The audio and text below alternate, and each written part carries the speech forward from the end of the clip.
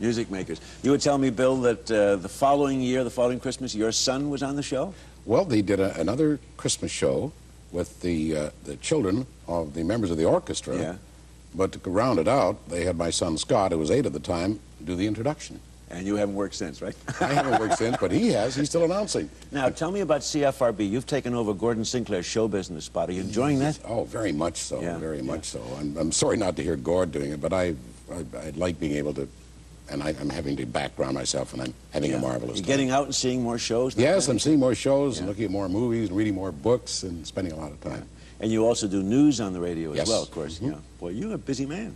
Yeah. No more time for acting or introducing music makers? I'm afraid not. I'm afraid not. I'm sorry to say. We've only got X number of hours in the day.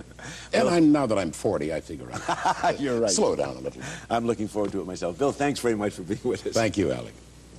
While we've seen Music Maker's Christmas gift to their viewers in 1957, now we have a different kind of gift. This is a play called The Wedding Gift, written by Thomas A. Raddall and first shown in 1971 in the series To See Ourselves. The leading players are Linda Goranson and Robin Gammell, and you'll also see Andrew Allan and, briefly, Phyllis Marshall.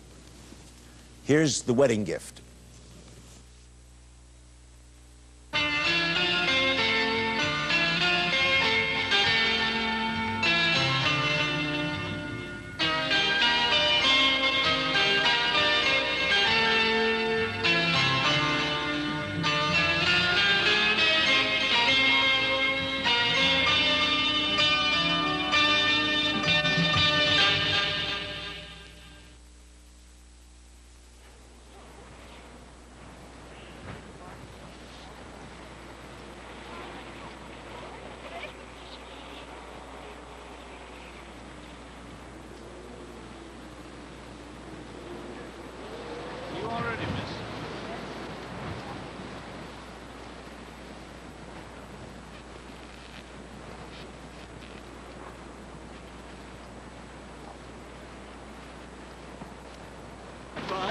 Goodbye, Bye.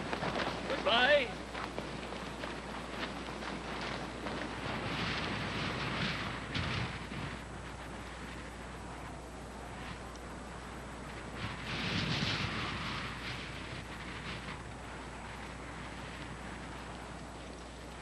We'll go ride and tie, sir.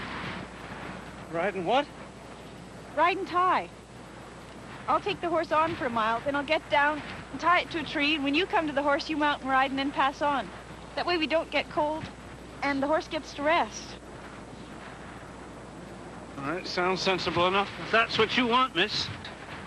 I think that would be best. I'll see you when I pass by. Mm-hmm.